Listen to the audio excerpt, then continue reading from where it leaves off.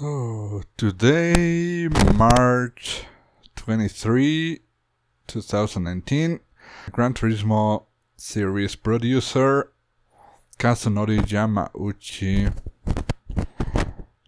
posted a tweet on Twitter saying that the next update to GT Sport is coming next week. And the day of this recording is Sar- Saturday, so guessing it's coming next Tuesday, the 26th. Just because every update before has come on a Tuesday, so yeah. Tuesday, the 26th. Along with that message, he posted a picture of five cars. Two of which we already knew they were the the Super Formula cars, one Honda engine and one with a Toyota engine.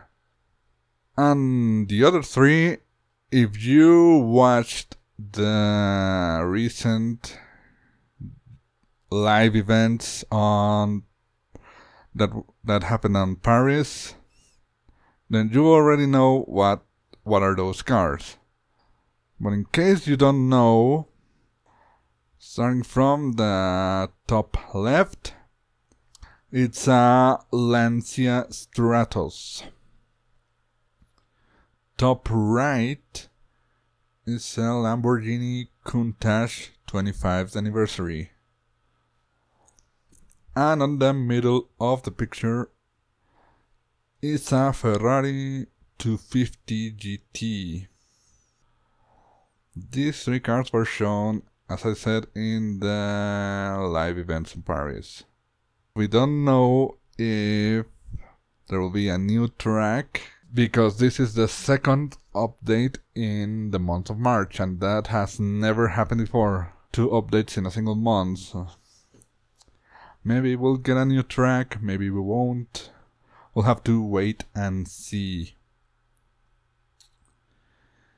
And that's pretty much all the news. Pretty short video. Hope you enjoy it.